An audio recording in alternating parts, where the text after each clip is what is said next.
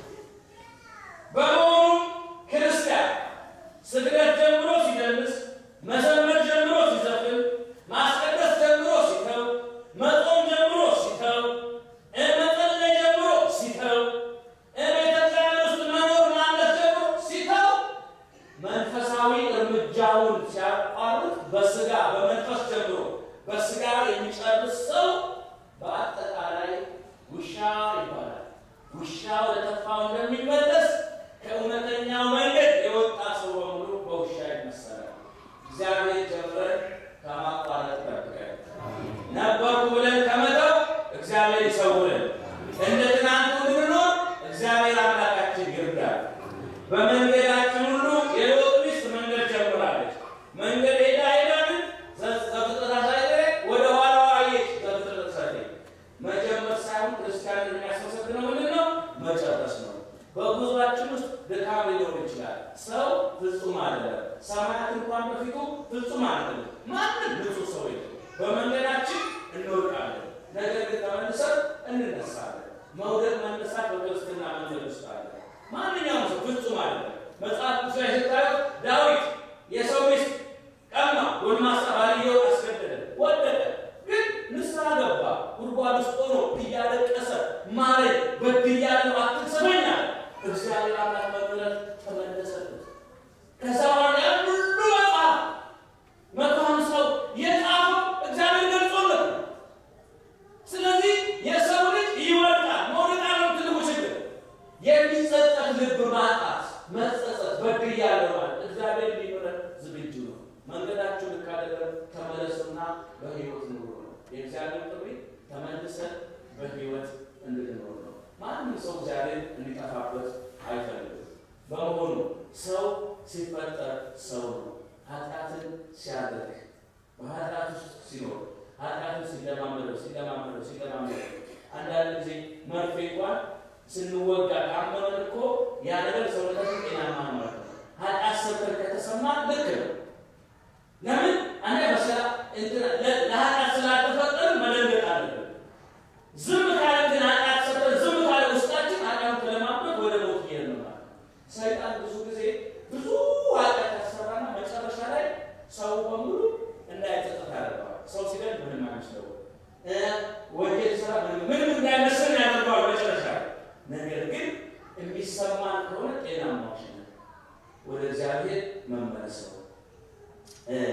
ማቴዎስ ሰባት ላይ ምን ይላል?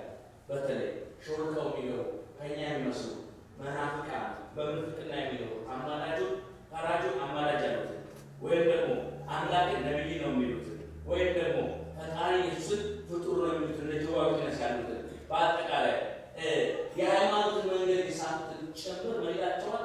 ውሾች ይላቸዋል። ከውሾች ተጠበቁ ይላቸዋል። ከውሾች ተጠበቁ። ተኩላም ይላቸዋል። ተኩላ ምናምን እያስበረበ ጉድጓዱ ጋር የሞተ መስሎ ተኝቶ በጎች ሲቀርቡት እየነጠቀ እንደሚበላ ሁሉ መስለው ገብቶ ተሸብቶ እውነተኞች ምዕመናን ወደ የሚወስዱትንም ውሻ፣ ተኩላ፣ አውሬዎች ይላቸዋል እና ክርስቲያን ሰው ተብሎ ክቡር ማዕረግና ስም ተጠርቶ እስከ ፍጻሜ ድረስ እንዲሄድ የእግዚአብሔር ቸርነት እየለመነ በኃጢአት ንስሐ እየገባ ማረግ ያስፈልጋል። እግዚአብሔር በንስሐ እንድኖር ሁላችን ይርዳል። ስለ በደላችን ይቅር ይበለን፣ ስለ ኃጢአታችን ይቅር ይበለን። በሚመጣው ታላቁ አብይ ጾም ከፊታችን እየመጣ ነው። ለዛ ዝግጅት ማድረግ ያስፈልጋል። ጾም ጾመን ከእግዚአብሔር ዋጋ ማግኘት አለብን። በአጠቃላይ የእሱን ዝግጅት ነው የምንማረው። የዛሬ ሳምንት አጠቃላይ ስንት አቋማት እንዴት ነው መጾም ያለብን? ምን አይነት ጾም ነው ውጤታማ የሚሆነው? አጠቃላይ የጾም አዋጅ ነው የዛሬ ሳምንት የምንማረው። በጾም ላይ የሚነሱ ብዙ አይነት ጥያቄዎች አሉ። ሁሉንም እንመልሳለን። ጾም ከመቼ እስከ መቼ፣ ከስንት ዓመት ጀምሮ ያሉ ሰዎች ስራ ቦታ ላይ ምን አይነት ነው አጧጧም፣ አመጋገባችን፣ እግዚአብሔር የሚሰማው ጾም፣ ሰይጣን የሚያደርገው ጾም ምን አይነት ነው፣ የእኛ ኃይል የሚጨምረው ጾም ምን አይነት ነው? የሚለው ደግሞ ሳምንት በሰፊው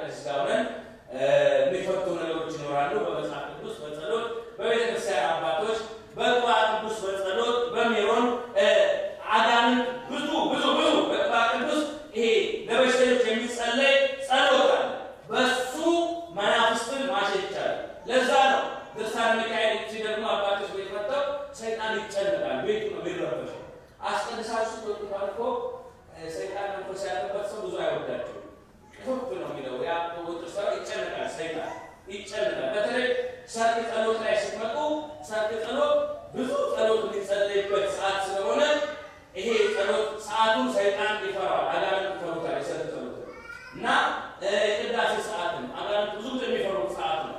ስለዚህ ኑ ሁላችሁ ኑ እግዚአብሔር ጋር እንኑር አንዷ ምናለችን የሞተ ሰው በቡድሃ መንፈስ ከሞተ በኋላ ይነሳል የሚባል ነገር አለ የሚል ነገር አለ። የሞተን ሰው ማስነሳት ይችላሉ ወይ? ነፍስና መጀመሪያውኑ ሰይጣን ያችን ነፍስ ወስዳ ከሆነ ሰይጣን ቁጥር ስለሆነ ራሱ ይወስድና ራሱ ጋር ያቆያል። ከዛ ሰው ሞተ ብለው ሲቀብሩት ወዲያውኑ ምን ይሆናል? ቡዳ አለማሰለተው ቡዳ ሲጋ ሰውየው ሲበላው አባቶች እየጸለዩ ዳዊት እየደገሙ ውጣ ማነ ብለው በብረት እንኳን ግንባሩ ቢተኩሱት ይሄ የተያዘው ሰው ምንም አይሆንም። የበላው ያ መንፈሱ ያለበት ዋናው ባለዛሩ ነው። ታሽ ሲያደርገው ልጮ እዛ እና እንደዚህ አይነት መንፈስ እንዴት ነው የሚሆነው?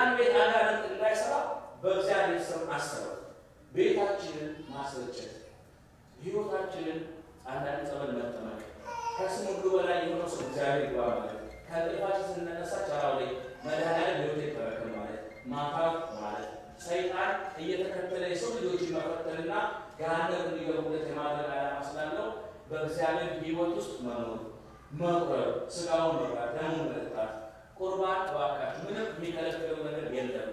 ወጣን። አሁን በህፃነት ሁላችን ቆራቢ ሆነ ከፍ ስንል ግን ብዙዎቻችን ተው ለምን እንደሆነ አላ ብቻ መቆም አይቻልም የሚለው ብቻ ሽገር። አሁን አንቺ ብቻ በድግሪ